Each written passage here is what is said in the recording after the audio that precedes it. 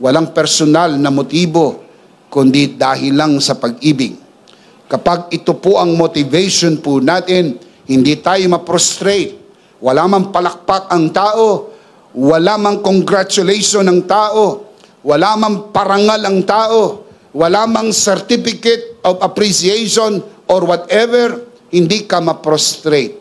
Sapagkat hindi yun ang motivation ng iyong serbisyo at sakripisyo, kundi ang pag-ibig ni Kristo na naibuhos sa atin. Ang tanong ko po sa atin, nasa atin na po ba ang pag-ibig ng Diyos? Meron na tayong kakayahang umibig. Kailangan na lang nating malaman kung paano ito gagawin. Number one, the explanation of having the love of God. We have the love of God. Can we say this together? In Christ, I have the love of God.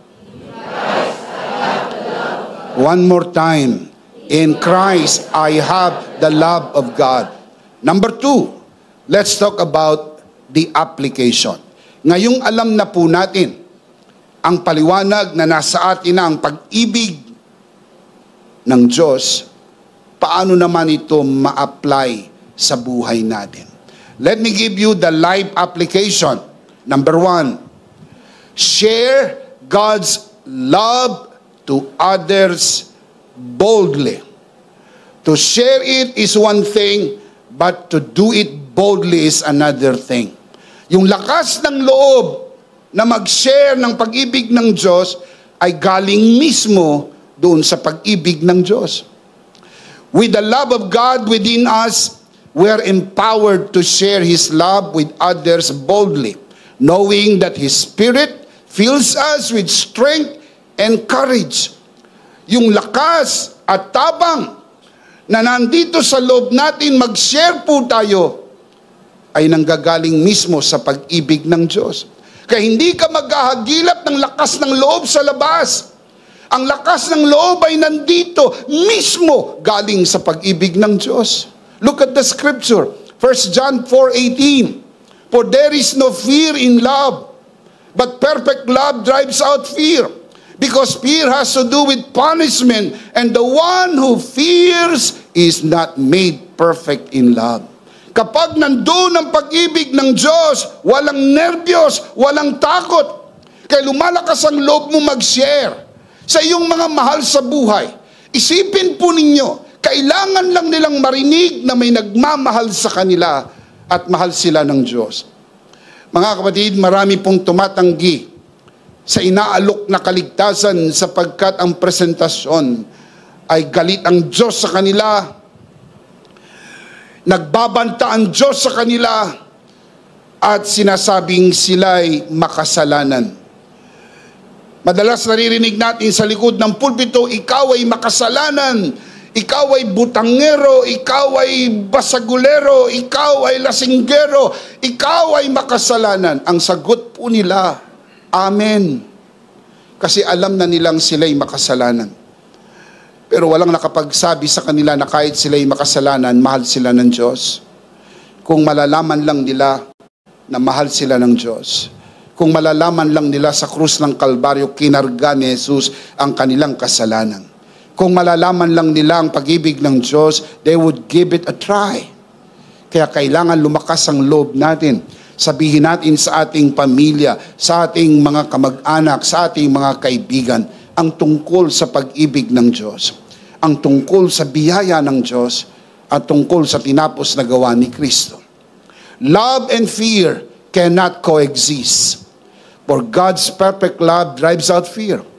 When we rest in His love, fear loses its grip on us, freeing us to live fully and love deeply and share boldly. Yun ang nagagawa ng pag-ibig ng Diyos. Kaya kung nasa iyo ang pag-ibig ng Diyos, natural, merong lakas ng loob, kailangan mo lang hakbangan. Remember, a journey of a million miles begin with the first step. Hakbangan mo lang. Invite mo ang iyong mga loved ones Just give it a try. Pwede silang tumanggi sa una. Pero itong natuklasan ko, hindi sila palaging tatanggi. Keep on keeping on. Sa una, tumanggi. Sa pangalawa, tumanggi. And how would you know? Sa mga tlo ay oo na sila. And you will just take one invite to have the opportunity to hear the Word of God. At hindi babalik ang salita ng Diyos ng walang kabuluhan. Can you say amen? So remember, number one, share God's love to others boldly. Lakasan natin ang ating loob. Nasa atin ang pag-ibig ng Diyos. Kapag tinanggihan tayo, hindi ho tayong tinatanggihan ang pag-ibig ng Diyos. Do not take it personally. Kapag nag-share ka, nireject ka, hindi ka ang nire-reject nila. Keep on sharing. Keep on sharing. Huwag matakot. Kayang labanan ng takot. At ang panlaban sa takot ay ang pag-ibig ng Diyos. Can you say amen? Number two, forgive others freely. Number two application, dahil nasa iyo na ang pag-ibig ng Diyos, you can forgive others freely. Now, hindi mo madali ang magpatawad. Pero hindi naman po imposible. Nagagawa din ito dahil sa pag-ibig ng Diyos. Sa ganang ating sarili, sa bagsak nating kalagayan, hindi natin kaya. Pero dahil nasa atin ang pag-ibig ng Diyos, sabi na ba, hindi ko kaya yan. Natatandaan niyo po yung kasabihan, to err is human, but to forgive is divine. Ang Diyos lang ang nagpapatawad. Sabi nga ng iba, ang Diyos nagpapatawad. Ako hindi. Tindi mo. Mas matindi ka pa sa Diyos. Ang Diyos nga nagpatawad, ikaw ay hindi. Parang pinapalabas mo, mas mataas yung standard mo sa Diyos. Kaya hindi mo mapatawad. Mga kapatid, yun po ay maliwanag na larawan ng kawalan ng kakayang gawin ito sapagkat ito'y nagagawa lang ng pag-ibig ng Diyos. With God's love within us, we are empowered to forgive others freely, reflecting His ultimate expression of love. Forgiveness is a true mark of divine love. Ang word po na forgiveness, ang Greek word na ginamit sa Bible ay charizomai. Yung charizomai, ang root word charis, gift. That's why forgiveness should be a gift. Freely given. Kapag in-earn po nila yan sa inyo, hindi yan tunay na forgiveness. Patatawarin lang kita kapag nagbago ka. Nung nagbago yung tao, pinatawad mo. Ang patawad na binigay mo ay premyo ng kanyang pagbabago. That is not biblical forgiveness. Biblical forgiveness is no string attached. You just freely give it.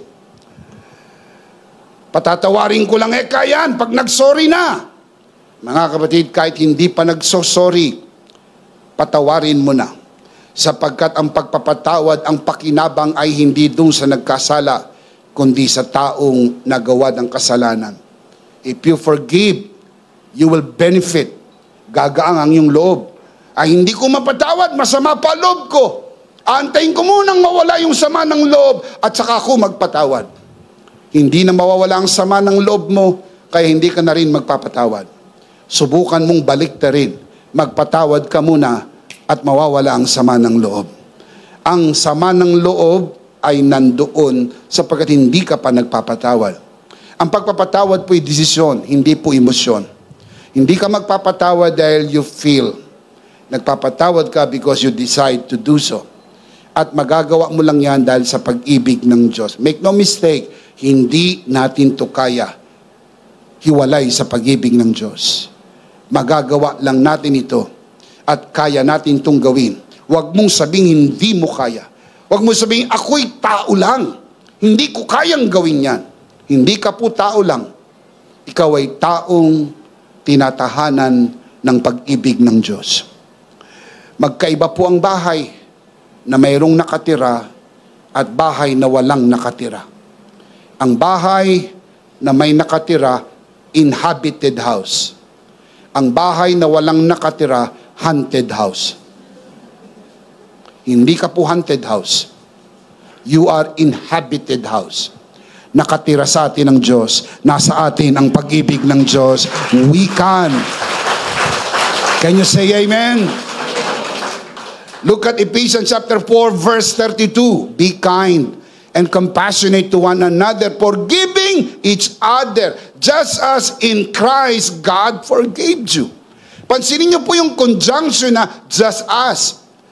Sa Greek po, katos. Conjunction katos, meaning the same manner, the same measure. Bishop, hindi ko kaya yan. Hindi ako Diyos. How can I forgive this person in the same manner and in the same measure as God did to us? Imposible. Mga kapatid, hindi po yan pinagagawa ng Diyos sa atin sa ganang ating sarili. You miss the whole point. Look at the verse. Just as in Christ. That's the key. You can only do this because you are in Christ. And in Christ, you have the love of God. And only the love of God will enable you to forgive. Ilang beses kong patatawarin ng taong yan. Di ba yun din ang naging tanong ni Pedro? Lord, hanggang ilang beses kong patatawarin ang kapatid ko. Sumagot si Jesus pitumput pitong ulit. Kinuha agad ni Pedro ang calculator. Kinuwenta niya kung ilan yung 70 times 7. Lumabas, 490. 490 times. Na, kung ito'y literal, dapat itong ibig sabihin. Patawarin mo ang kapwa mo 490 times of the same mistake kung yun ang ibig sabihin. Pero there is more to that than numbers. Ibig sabihin po mga kapatid, tuloy-tuloy na pagpapatawad. Habang nagkakamali ang iyong kapatid, habang nagkakamali ang iyong kapwa, magpatawad ka lang ng magpatawad sapagkat walang hanggan ang pagpapatawad ng Diyos. Hindi natatapos ang pagpapatawad ng Diyos. Saan natin kukunin yon? Doon sa pag-ibig ng Diyos. Tandaan niyo po, hindi ka pwedeng sumalok sa balong walang laman. Ikaw po'y balon na puno ng pag-ibig ng Diyos. So dito ka sasalok ng timba-timba na pagpapatawad mula sa rumaragasa at bumubulwak na pag-ibig ng Diyos na naibuhos sa iyo. You are not empty. You cannot pour out from an empty pitcher. Hindi ka po walang laman puno ka ng pag-ibig ng Diyos. Amen. Amen. Ang susi po ay nandun sa in Christ. Just as in Christ. Yung po yung reality na pinag-uusapan natin. If you are in Christ, you have the love of God and the love of God enables you to forgive freely. Walang kondisyon. You just do it freely. In the same manner, God forgave us freely. Can you say amen? Freely forgiving others is one of the highest ways we can express God's love in us. Among others, maraming paraan express ang love of God. Pero isa sa pinakamataas na ekspresyon ng pag-ibig ng Diyos ay ang magpatawad. Because to forgive is divine. It's godly. The devil cannot do that. Only God can do that. And if we children of God can do that, we are expressing to the world that we are God's children. Again, inuulit ko po, wala tayong kapasidad gawin ito. Hiwalay sa pag-ibig ng Diyos. Hindi ho pinagagawa ng Diyos sa atin ang isang bagay na hindi niya tayo in-empower para magawa ito. Nasa atin ang pag-ibig ng Diyos kaya natin ito dahil nasa atin ang pag-ibig ng Diyos. Palakpakan ang Panginoon. Praise God. Amen. 1 Peter chapter 4 verse 8, the apostle Peter writes, above all, love each other deeply. Tell me why? Because love covers over a multitude of sins. Mga kapatid, Kapag nag-aaway ang mag-asawa, napakaraming nangyayari.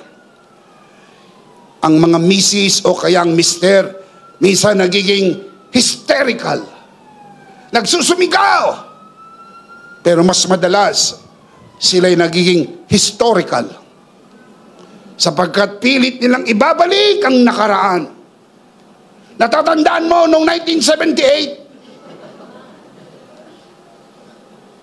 Natatandaan mo ba yung ginawa mo sa akin? Kaya hindi sila makamove on sapagkat yung dapat sanang kinalimutan na hindi po kinakalimutan kasi ang tunay na pagpapatawad nililimot na po at tinatakpan ang maraming kamalian. Marami ka rin kamalian, pero iniisip mo mas marami siyang kamalian. Pero sa totoo, yun din naman ang iniisip niya. Hindi niya lang sinasabi sa iyo, mas marami kang kamalian kaysa sa Kanya. Kaya lang ang hindi nyo naisip, ang iniisip ng Diyos, parehas kayo maraming kamalian. Pero minahal tayo ng Diyos. Inibig tayo ng Diyos. Can you say amen? Kalimutan na ang sugat ng kahapon sapagkat ang kahapon mo'y nagtapos na ng lumubog ang araw at kapag sumikat ang bagong umaga, bagong araw. At sabi sa Biblia, tuwing bagong araw, dakila ang katapatan ng Diyos. Great is God's faithfulness. Can you say amen? Number one, share God's love to others boldly. Number two, forgive others freely. Number three, encourage others openly. Ito po ay isa sa mga praktikal na paraan na pwede nating maipamuhay ang pag-ibig ng Diyos, yung palakasin ang ating kapwa. Encourage mo ang iyong mga anak. Encourage mo ang iyong asawa. Encourage mo ang iyong mga kapatid. Encourage nyo rin ang inyong pastor. Mag-encourage tayo sa isa't isa sapagkat yan ay kailangan. With God's love within us, we are called to encourage others openly, lifting them up and sharing the strength that His love provides. Hindi pare-parehas ang sukat ng ating lakas. Hindi pare-parehas ang ating kryptonite. Yung parte na ikaw ay mahina, maaaring malakas ang iba. Yung parting malakas ang iba, maaaring mahina ka. Pero kung saan sila mahina, at dun ka malakas, palakasin mo sila. Sapagkat yan ay ekspresyon ng pag-ibig ng Diyos. Hebrews chapter 10 verse 25. Let us not give up meeting together as some are in the habit of doing, but let us, now look at the verse, let us encourage one another. And all the more as you see the day approaching. Your mere presence in the gathering is an encouragement. Hindi nyo alam yon, pero dapat alam nyo ngayon na yung ang pagdalo nyo lamang ay nakaka-encourage sa iba, ganon din sa pastor. Na-encourage mo siya, naniniwala siya sa calling, naniniwala siya sa tawag ng Diyos, naniniwala siya sa gawaing ipinagkatiwala sa kanya ng Diyos, pag nakikita niya, kayo ay dumadalo kaya encouragement po kayo. May mga kapatid na hindi na nagpatuloy sapagkat yung mga kasama nila ay hindi na rin nagpatuloy. Na-discourage sila sa kawalan ng presensya ng iba. Pero ang iba ay nai-encourage dahil sa presensya ng iba. So wag mo ipagkait ang iyong presensya. Every time you come, you are a source of encouragement. And please don't be absent. Keep on attending and be an open encouragement to all. Mga kapatid, kumisan ang hinahanap ng mga tao kung saan mayroong malapit na simbahan. May I say this? Huwag niyong hanapin yung malapit na simbahan. Hanapin niyo po yung malapit na turo sa Biblia. Dahil kahit malapit ang simbahan, kung milya-milya ang turo ay malayo sa Biblia, hindi po yun tama. Hanapin natin yun pong mga simbahan na ang turo'y malapit sa Biblia. Ang turo ay ang Biblia. And every time you come, you become a source of encouragement to pastors, leaders, and even the church as a whole. So I say this to you, my dear brothers and sisters, encourage one another. Yung pong praise na one another ay inulit sa New Testament ng 100 times. 100 times. One another, one another, one another, one another. It is a biblical theme. One another, one another. We need each other. No man is an island. Parti tayo ng isang katawan. Kailangan natin ng isa't isa. Kailangan nyo ng pastor. Pero kailangan din kayo ng pastor. Kailangan natin ng isa't isa. Wala pong isang taong kaya niyang pasanin ang gawain. Ito po'y pinagsasama-samang tulong upang mapasa natin ang gawain ng Panginoon. At sa pamagitan po ng sama-samang paggawa, na-encourage natin ang bawat isa. Pag mayroon kayong kasama, na dati madalas yung nakikita na umaaten, then all of a sudden, parang hindi na siya nag attend Baka naman, pwedeng kumustahin mo. Alam nyo, madali pong mapansin. Kuminsan, kapag ang, ang group ay medyo maliit lang, probably about 30 people, or less, or even over 30 people, kapag meron pong hindi umaten, kita na agad Kita na agad. Pero when you talk about hundreds, 300, 400, 500, or even 800, lalo na sa mga mega churches, na you're talking about thousands of people, na no one would know kung umatin ka o hindi. Walang makakaalam kung umatin ka o hindi. Kung minsan ay nagugulat yung iba. Napansin pa ni Bishop na hindi tayo naka-attend.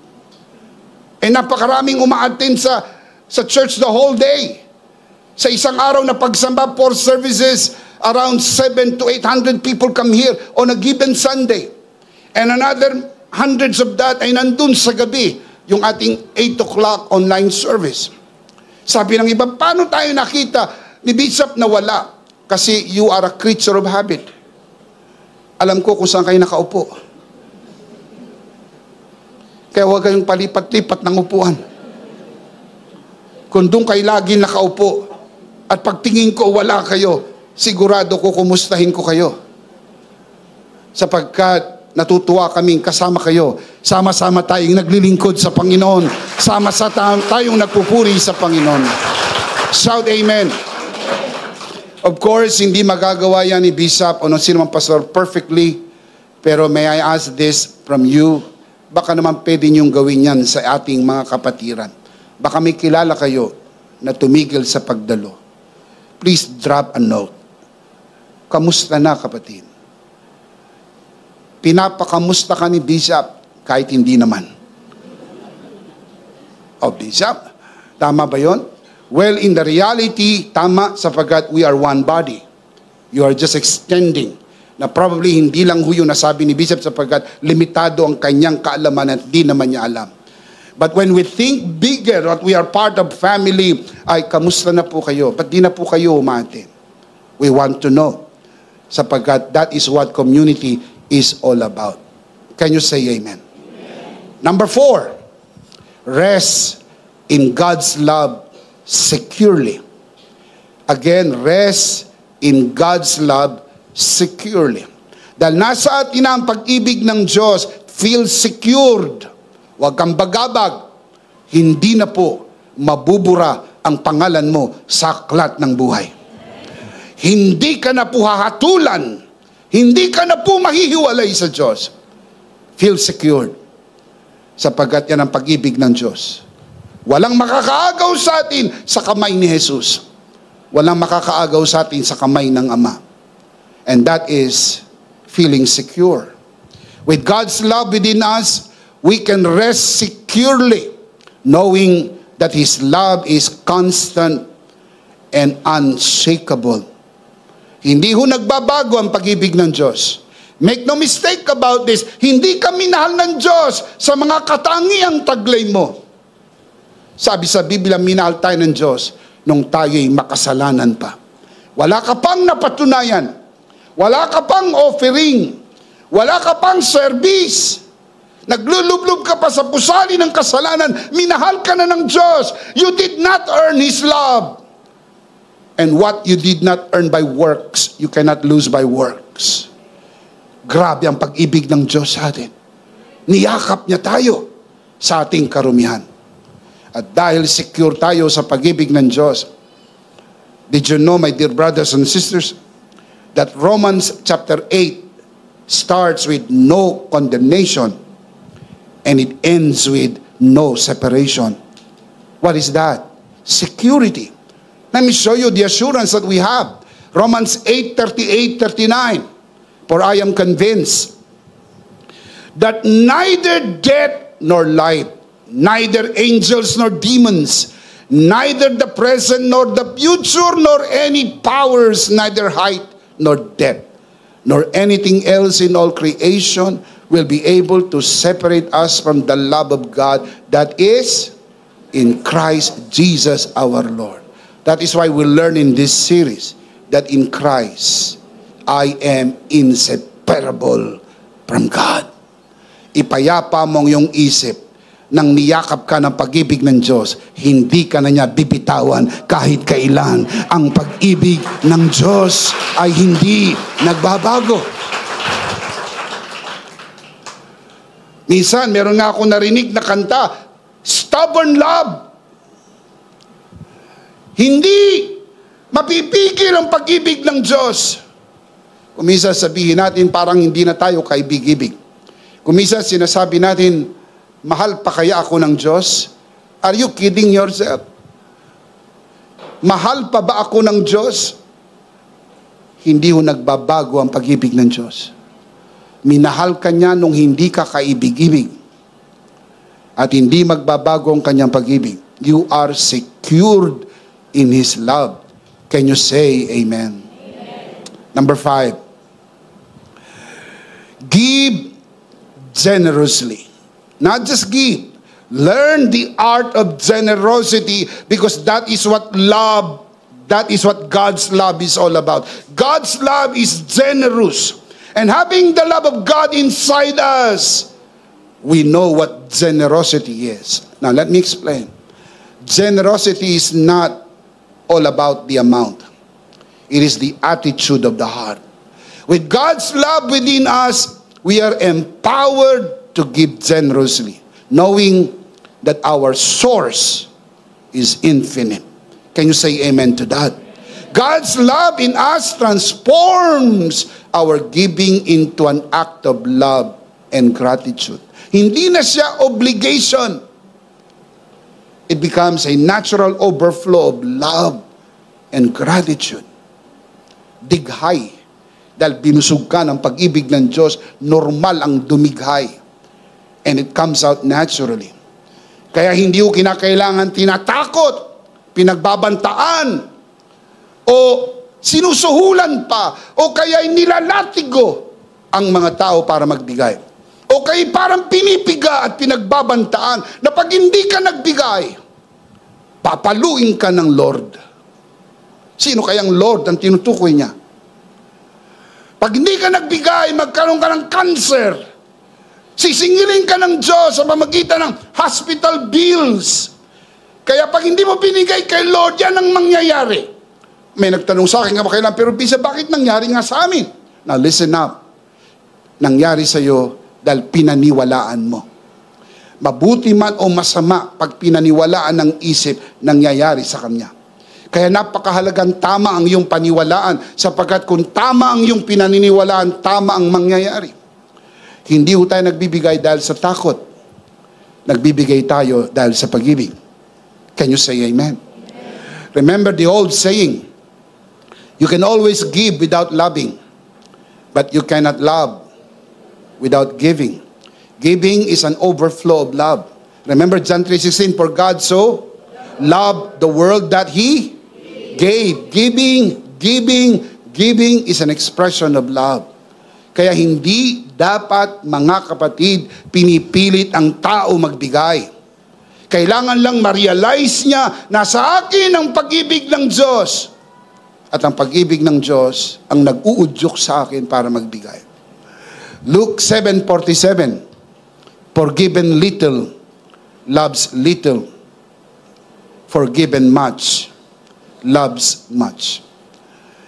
Mga kapatid, ang pag-ibig ng Diyos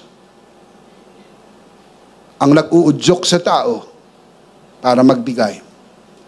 Ang pagpapatawad ay ekspresyon ng pag-ibig ng Diyos. It comes out naturally. Wala pong verse sa Old Testament. Nowhere you can find in the Old Testament na you give half of your possession to the poor. Nowhere you can read that. But when Zacchaeus received the love of God, the grace of God, the love of Jesus, pumunta si Jesus sa bahay ni Zacchaeus. That is pure love. That is pure grace. Zacchaeus said, half of my possessions I will give to the poor.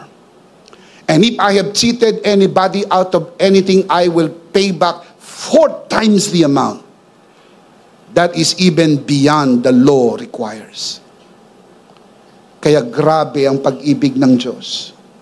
Pag naramdaman ng tao ang pag-ibig ng Diyos, ang yakap ng Diyos, ang pagmamahal ng Diyos, giving comes out naturally. Walang nagsabi kay Zacchaeus gawin niya yon. Nung marinig ni Jesus yung sinabi ni Zacchaeus, what did Jesus say? Today, salvation has come to this house. Ang ating serbisyo ay hindi para tumanggap ng kaligtasan. Ang ating serbisyo ay patunay. Natanggap na natin ang kaligtasan. Natanggap natin ang kapatawaran. Natanggap natin ang pag-ibig ng Diyos. Say amen. amen. Si Maria Magdalena na natagpuan sa pagkakasala, pinatawad at binigyan ng bagong simula. Unang natagpuan sa paanan ni Jesus at muling natagpuan sa paanan ni Jesus. Hinuhugasan ng paa ni Jesus ng kanyang luha. Pinupunasan ng kanyang buhok at hinahalikan ng paulit-ulit at binuhusan ng mamahaling pabango. Ito'y hindi niya ginawa para mapatawad. Ginawa niya ito matapos siyang mapatawad. Mga kapatid, ang serbisyo at sakripisyo ay hindi ho pambayad sa pag-ibig ng Diyos. Hindi ho natin mababayaran ang pag-ibig ng Diyos. Dahil hindi naman po ito pinagbibili. At kung sakaling ipagbili ng Diyos, hindi rin natin kayang bayaran. Ibinigay ng libre. At na matanggap natin ang pag-ibig ng Diyos, dahil ito po'y rumaragasa, dahil ito'y bumubulwak, umapaw mula sa kaloob-looban natin, ang kusang pagmamahal na naipapakita sa isang masaganang pagbibigay.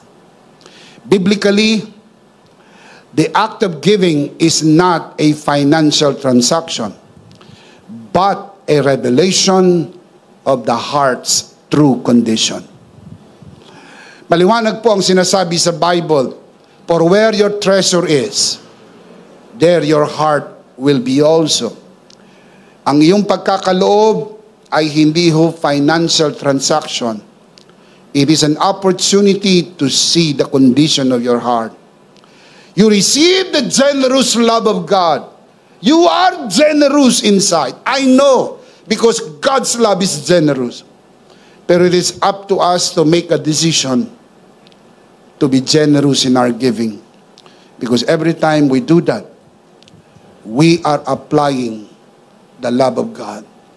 Because true giving stems from a heart truly amazed by God's grace and deeply in love with the spreading the gospel of full grace.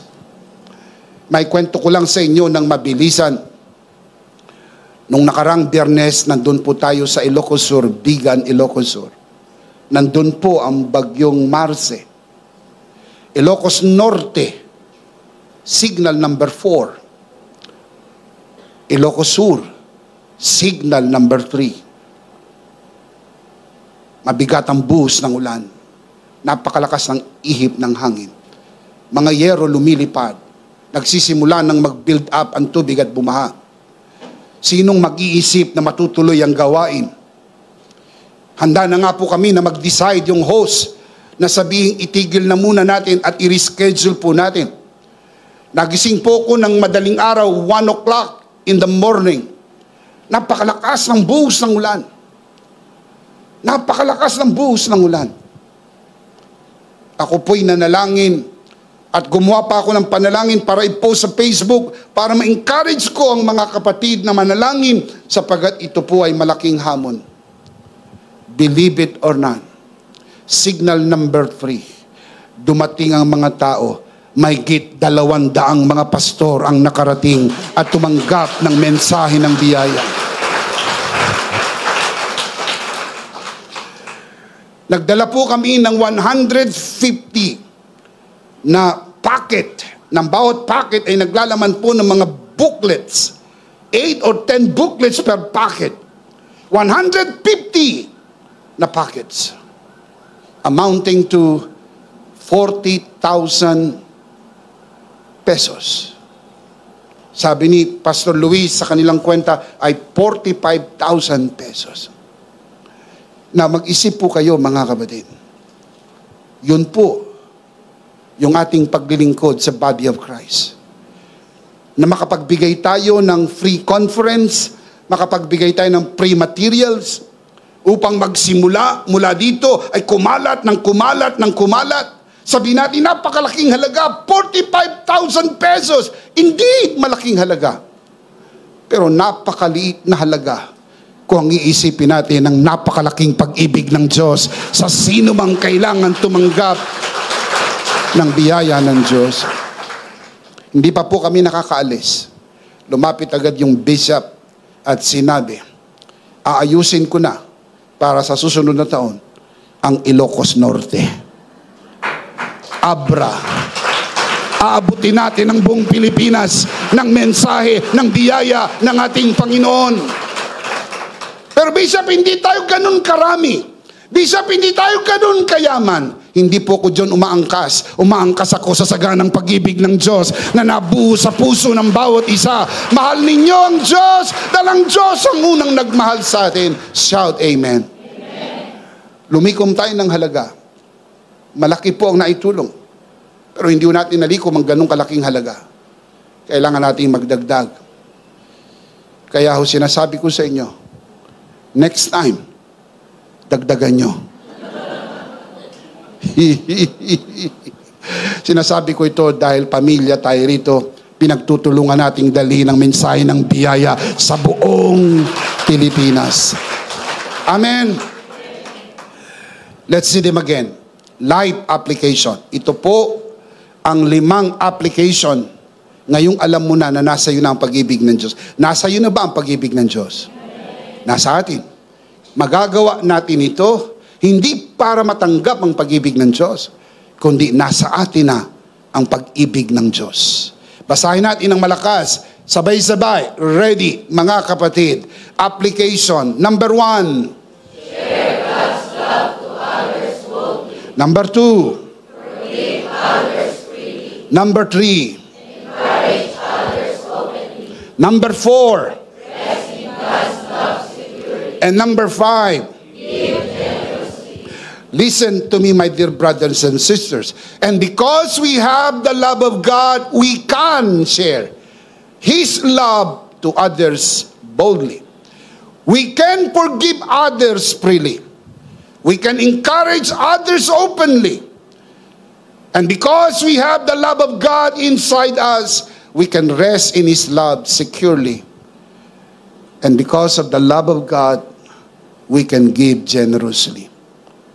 The big idea is in Christ, I have the love of God. Are you in Christ? So, what is the big idea? Christ, One more time. Louder.